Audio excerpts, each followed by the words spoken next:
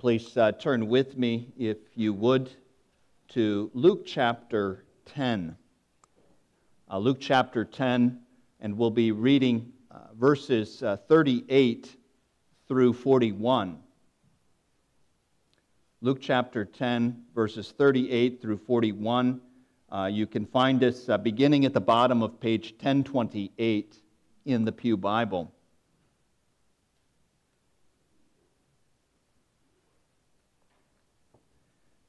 Uh, for those of you who are um, regular visitors in the evening, uh, you were quite likely expecting a rather different subject uh, this evening, but uh, we switched our, our normal pattern uh, today and had a catechetical uh, sermon this morning. this evening, we continue what has been our morning habit of working our way through the Gospel of Luke.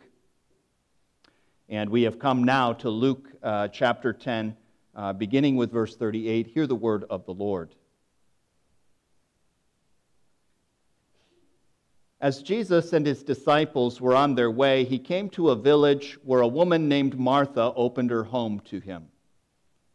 She had a sister called Mary who sat at the Lord's feet listening to what he said. But Martha was distracted by all the preparations that had to be made. She came to him and asked, Lord, don't you care that my sister has left me to do the work by myself? Tell her to help me. Martha, Martha, the Lord answered, You are worried and upset about many things, but only one thing is needed. Mary has chosen what is better, and it will not be taken away from her. Thus far, God's word. Uh, dear brothers and sisters, friends, I suspect that you will uh, probably agree with me that uh, it seems rather remarkable uh, that this little account is included in God's Word at all. Five verses, uh, a little snippet of uh, daily life, uh, an anecdote that uh, may at, at, first glance seem, seem not to be all that important or all that relevant. It, it is actually these little snippets that I always find encouraging. Uh, I, I, always find that they strengthen my faith in the Word of God, and they do so for a couple of reasons. Uh, number one, uh, this bears the ring of real life. Anybody who has children knows that this rings true. Um, if I had a dime for every time one of my children came to uh, either myself or my wife in a week, uh, having been assigned a task, usually as a community of children, and, and said, uh, Mom or Dad, so and so is not helping, I would be a wealthy man indeed. And uh, yet we find that this is not an attitude that fades with childhood. We find that this is, in fact, uh, something that happens quite with some frequency in the church itself. Uh, many times, uh, we find uh, that there, there are uh, some people in the congregation who are, are engaged, it seems, in, in every ministry of the congregation. They, they're very busy in good ways, invested in the kingdom of God, serving the well being of the congregation. Um, but there's always the temptation to look at other people and to be critical of them for not being engaged in the service of the Lord and we can so easily become critical, embittered, complaining. And I believe that is a great part of why this account is given to us in God's Word. You know, you think about Jesus' ministry. Uh, we understand that Jesus' ministry spanned roughly three years. Think about the thousands of interactions that Jesus had in three years. And of all the things that could be recorded in Holy Scripture, we have this account. What was Jesus talking about uh, at, at the time that this story takes place? It's not recorded for us. We don't know anything that Mary heard sitting at his feet. uh, the Holy Spirit, in, in uh, sovereign wisdom, leaves that all uh, by the side and gives us this instead. And I hope that that compels you, as it has compelled me, to understand uh, that this is, in fact, important, as is every part of the Word of God. Well, uh, we're going to look at these verses, and our theme for this evening is the good portion. Uh, we're going to do this a bit differently than uh, you're accustomed to from me, and we're just going to kind of walk through and we're going to unfold the story together. And uh, we trust the Lord that, that it will come together neatly this evening. Uh, first of all, we're introduced uh, for the first time to this woman named Martha, at least for the first time in Luke's gospel. Of course, uh, Martha, her sister Mary, their brother Lazarus are very well known to us who are familiar with the Bible. Uh, we know that this uh, group of three siblings were special friends of the Lord Jesus. We know that they lived in a town called Bethany, uh, which was uh, just, I believe, about two miles from Jerusalem itself. Uh, we know that uh, at one point in his ministry, Lazarus, uh, Jesus actually raises Lazarus, the brother of Martha and Mary, who's not even mentioned here. we know that the Lord Jesus raises Lazarus from the dead. This family is well known to us. It's a family uh, who head for head loves Jesus. And isn't that a wonderful thing to see? Um, sometimes it seems that Martha gets knocked about a bit, uh, and, and perhaps unjustly so. Because what we see is that Martha is a woman who has uh, a heart for hospitality. Look at what the text says. As Jesus and his disciples were on their way, he came to a village where a woman named Martha opened her home to him. A simple statement, but a profound statement, a beautiful statement. We know that the Lord Jesus was not welcomed everywhere that he went. Uh, we also know that Jesus tended to travel with a crowd.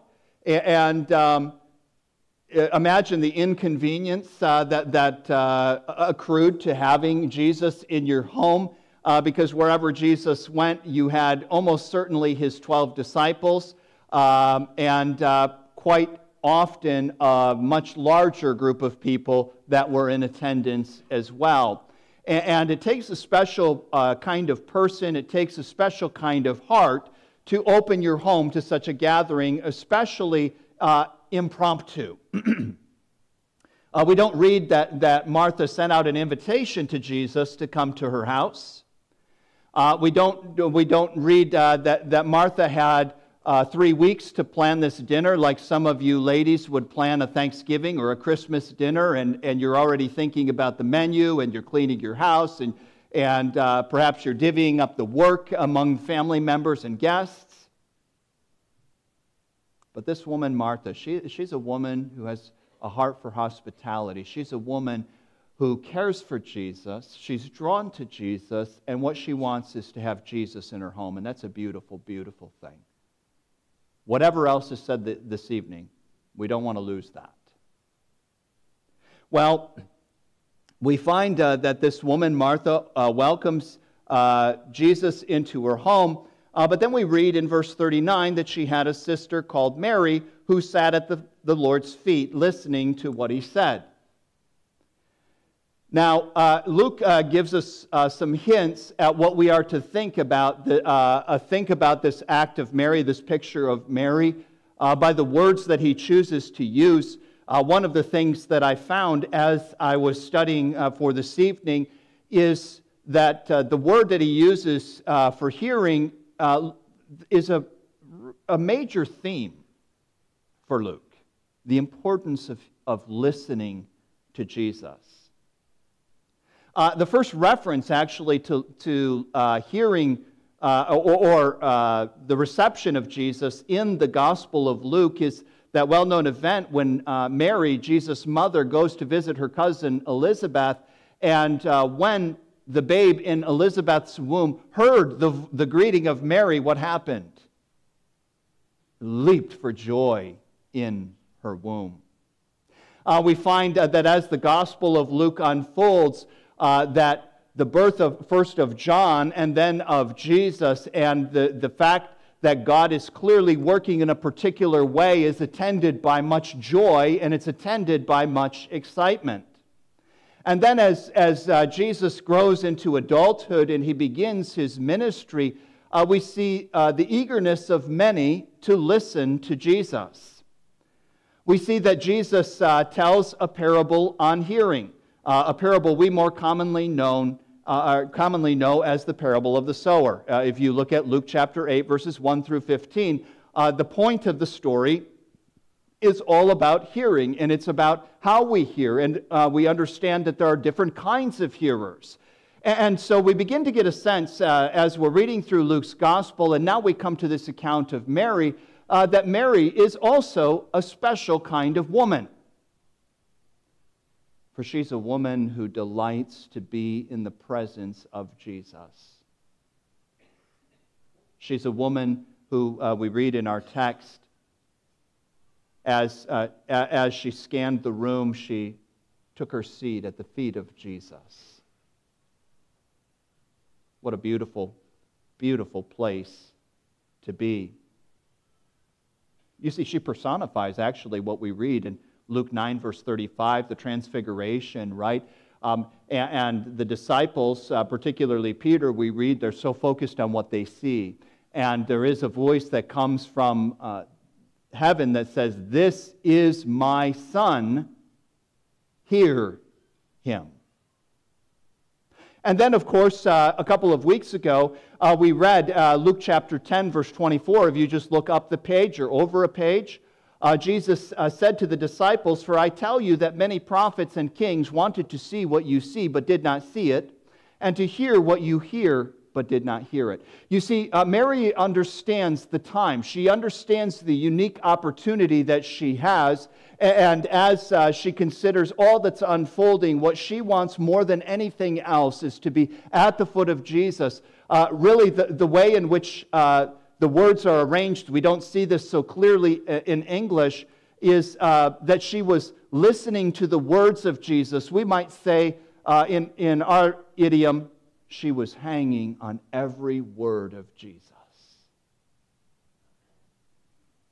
And that is the delight of the Christian's heart, isn't it? To hear the voice of Jesus, to be taught by Jesus, isn't, I mean, isn't that truly our longing? I'm not asking if that's what we experience on a daily basis. We'll get, we're going to get to that in a moment. But the longing of the redeemed heart is communion with the Lord. The longing of the redeemed heart is to sit at the feet of Jesus and to be instructed by him. And we see that Mary is characterized by this longing. But we read in, in verse 40 But Martha was distracted by all the preparations that had to be made. Actually, you could translate this text, but Martha was distracted by much ministry. That would be the more literal translation. Uh, the word uh, uh, used uh, of, of, uh, that I've just translated ministry. Uh, you could also translate it service. It's that word diakonos, which we, from which we get our term deacon. Uh, used of all kinds of service, but especially uh, in the biblical usage, it's associated with ministry. Um, it may be used of men or women, and it's used of every uh, kind of ministry. a great variety of ministry, whether of that of the, the church leaders or whether that of uh, the most obscure servant of the Lord in his or her uh, service to the Lord. Martha is distracted with much ministry. And that happens. Has that ever happened to you? That we would serve him, ministry is emphatically a good thing. And um, th- there are those uh, who maybe have a variety of gifts or have uh, uh, gifts that are more publicly known. And uh, over time, we begin to accumulate more and more uh, ministries. uh, because there's so many good things to do, and we would like to be uh, involved in, in, every one of them.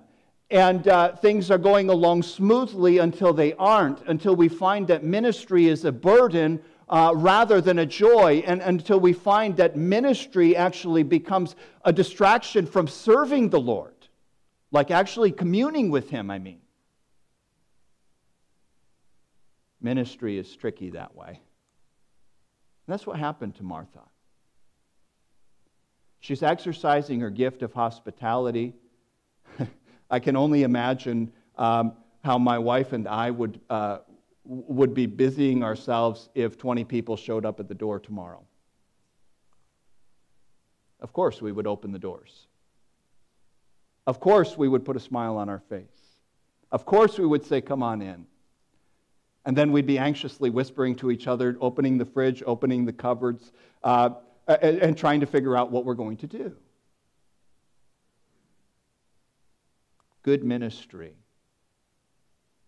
so often eclipses communion with the Lord. And look at the, the effect that it produced in Martha's life. She was distracted by all the preparations that had to be made. She came to him and asked, Lord, take, don't you care that my sister has left me to do the work by myself? Tell her to help me. Now, notice this that Mary's request for, or uh, rather, Martha's request for Mary to, to help is not wrong. Um, that, that's not where the problem is, uh, lies, and that's not why this uh, story is given to us. Uh, notice that what's wrong in the context, notice that what's wrong in this moment is the attitude that has developed in Martha. Uh, you can imagine her, uh, uh this has never happened in our home, um, banging pots and pans, muttering under her breath, stomping around the kitchen, uh, just hoping that Mary's going to get the point, just hoping that Mary's going to come into the kitchen and help her. I'm not referring to my wife, by the way.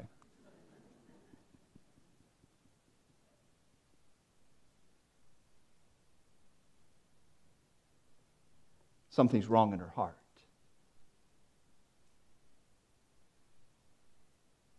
She's not just overworked and overburdened, she's angry. And notice how she talks to the Lord. There, there's actually, I, I, believe there's an irony here, right? Because uh, the, uh, what we have here is a, a, very intentional use of the word Lord as opposed to the name Jesus. It doesn't say uh, she came to him and asked Jesus. And uh, in verse 41, when, when Jesus speaks to her, it doesn't say Jesus answered her. It says the Lord answered her. And, and uh, the reason, uh, the way in which this comes out is, is look at the end of verse 40. Um, she actually now has become the Lord uh, she's giving the Lord orders and she's saying, Tell her to do this. Don't you see what's going on? Tell her to get to work. Tell her to help me. Her anger isn't simply directed at her sister. Her anger is, is directed even to her distinguished guest to some degree. because her understanding has become obscured. What began as a good thing has now become a bad thing. Because her hospitality, in some sense, has become her God. Her ministry has become her God. Maybe she's seeking her sense of identity in her ministry. It doesn't say. but it has fouled her attitude. And this happens to us, doesn't it? When you find that, that you're crossing over from the point that ministry uh, is moving from being a joy to being a burden, take notice of that. When you find uh, that uh, ministry, rather than simply being a burden, now is something that causes you to grumble in your heart, take note of that. When you find that your faithfulness and your engagement in your ministry now is, is uh, causing anger to well up inside of you toward others uh, whom, to your uh, sight, uh, to your perception, are not serving the Lord as they ought to be. Step aside. Take a moment to assess your ministry and to assess your relationship with the Lord. Can I be very honest with you? This happens to your pastor sometimes. That the process of studying the Word in order to, uh, for, uh, to feed you week by week, and, and the process of of being engaged in, in counseling or in, in um, leading this class or in being at that leadership meeting, um, after a while, it, uh, you're so focused on doing, doing, doing, and if you're not actually doing, um, you're thinking about all the things that need to be done, and you're just being crushed. That's the reality for some of us. That's rea- my reality. Can I say that? It sits on me like the weight of the world, and you just uh, you, you become anxious, you become panicky. And when that's happening, the Lord says, Martha, Martha, Justin, Justin. Take a moment. Remind yourself of why you're doing this to begin with.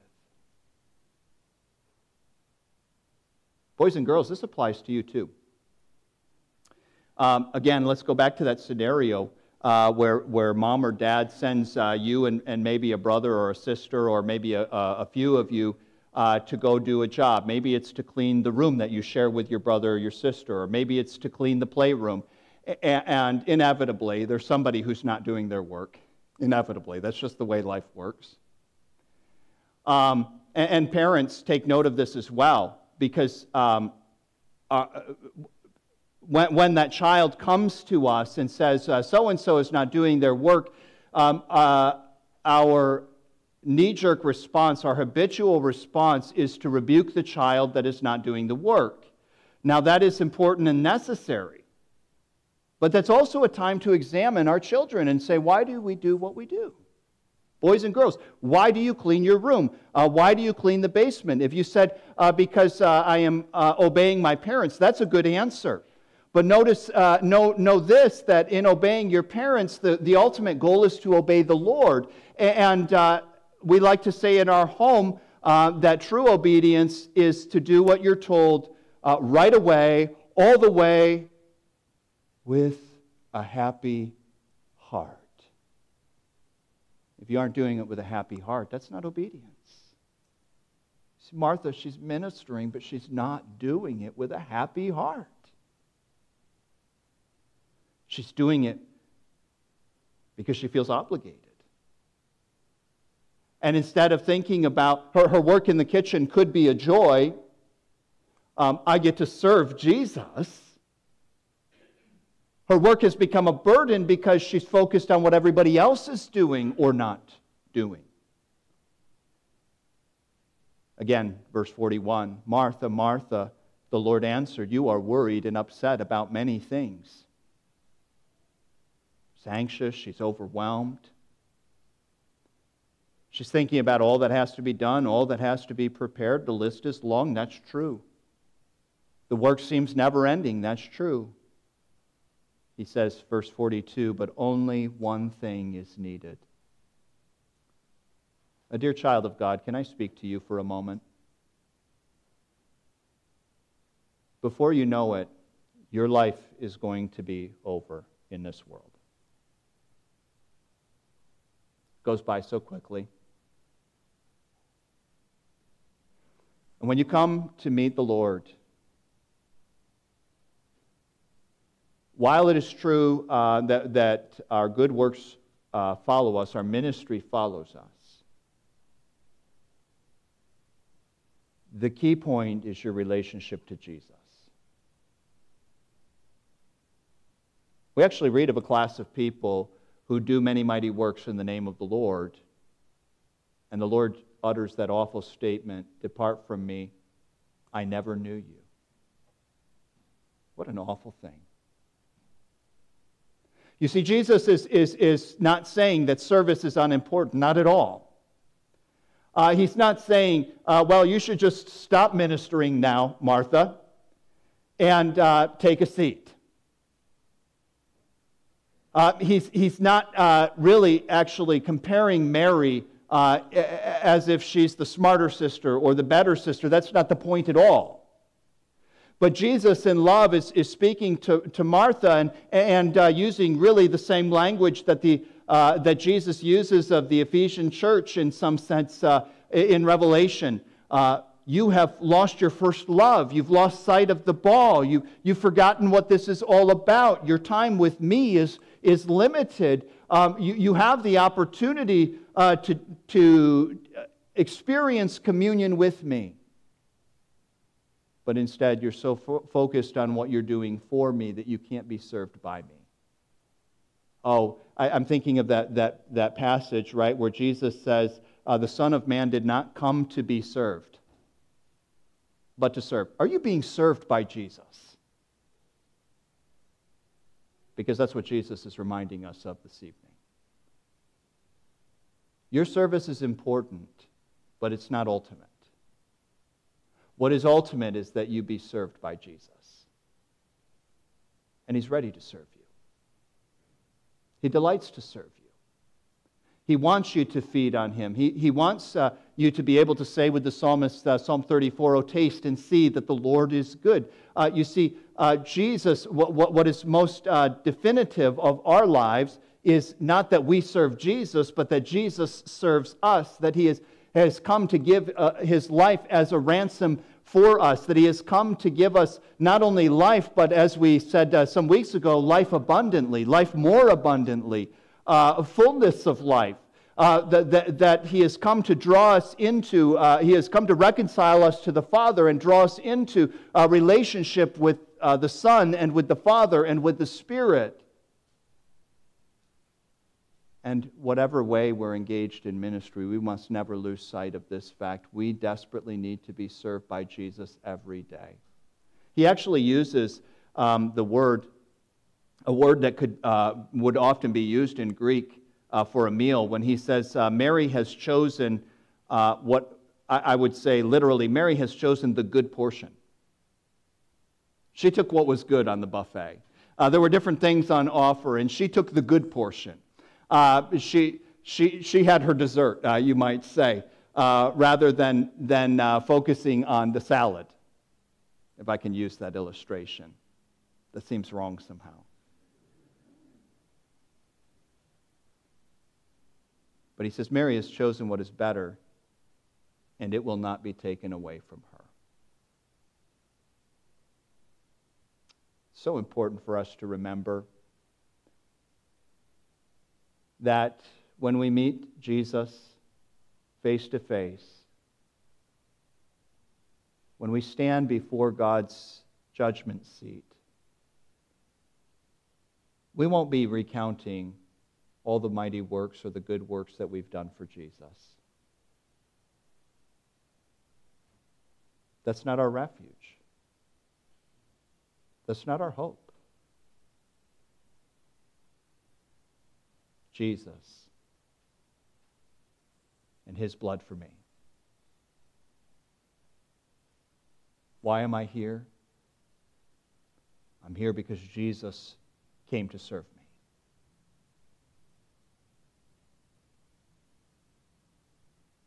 Now, I think that it's very helpful to understand that, that, that Jesus isn't simply adding another burden onto to Martha's life. You know, there is a way of looking at this idea and saying, oh, okay, so what you're saying is that I, I have to add uh, time with the Lord on top of what I'm already doing. Um, and, and, that's not the point at all.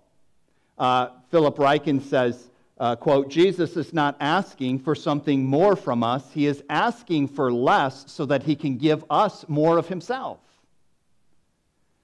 Uh, if, if ministry has so completely overtaken our lives uh, that we cannot be served by Jesus, we're not being served by Jesus, then it's time for us to do a, a radical reevaluation of our priorities. And, we may have to say, uh, to ourselves, there is a time and there is a season for everything under the sun. And it seems strange, right? Because your pastor is almost proposing that you maybe need to step back from some kind of ministry right now, which is exactly the opposite of what pastors are supposed to say. I'm supposed to say, get to work, everyone.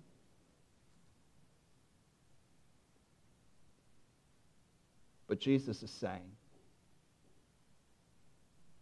let me serve you.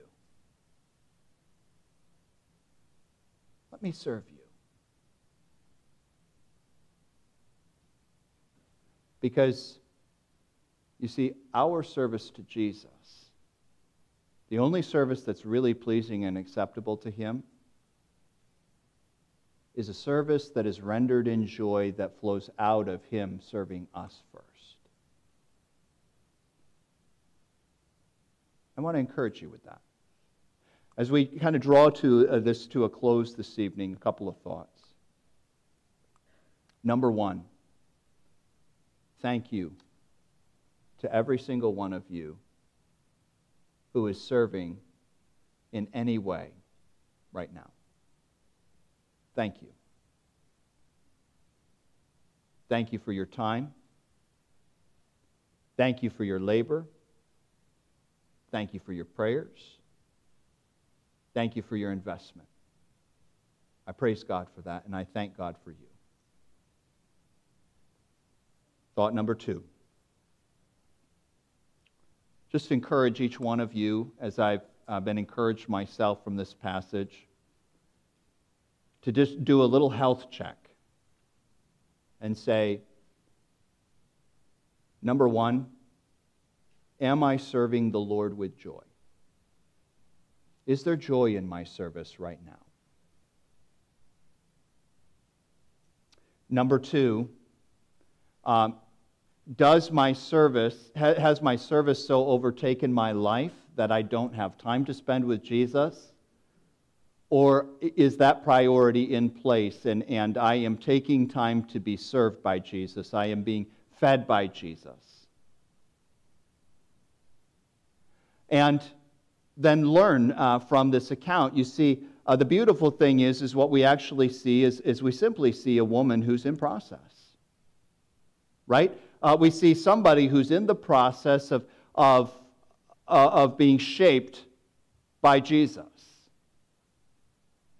Uh, we find later, I, I, believe it is later, that uh, Jesus raises Lazarus from the dead. Again, the timeline in Luke is a little bit shifty in terms of the arrangement uh, we find that rather than serving the funeral guests uh, uh, that she undoubtedly has as a result of her brother's death, um, when she hears of the Lord's approach, she goes out to meet him because she's learned something and she's grown and, she's learned, uh, uh, at least to some extent, uh, what Jesus meant when he said, Only one thing is needed, only one thing is necessary.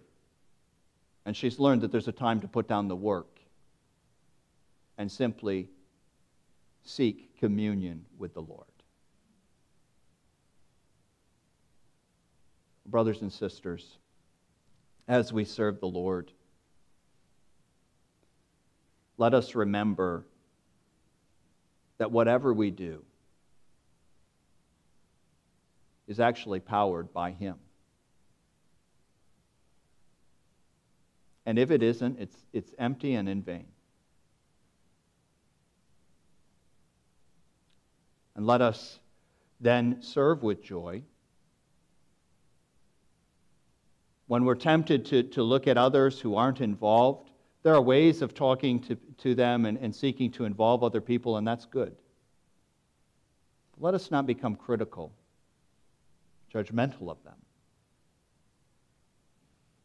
Let us not become grumbling and angry. because that says more about us than it says about that person. It's a window into a heart that is sick and desperately in need of time spent at the Lord Jesus' feet. Let's pray. Gracious Father in heaven, we come to you this evening. So thankful that you did not come to be served, uh, but to serve and to give your life a ransom for many, and we are the beneficiaries of that. Uh, we pray, Lord, that we would never lose sight of this and that we would never lose sight of our own desperate need to be strengthened, sustained, and fed by you. Uh, Lord, uh, we pray that you would revive each one of us in service to you, that you would engage those who are disengaged, that you would grant rest to those uh, who are weary and overburdened, and that especially, Lord, that you would teach all of us to, to rightly uh, prioritize the need for communion with you, uh, that we may serve you with joy and that we may be uh, both like Mary who hung on your every word, and like Martha, who were engaged faithfully in service, uh, that you may be glorified in our lives. Uh, for we ask it all in the name of Jesus. Amen.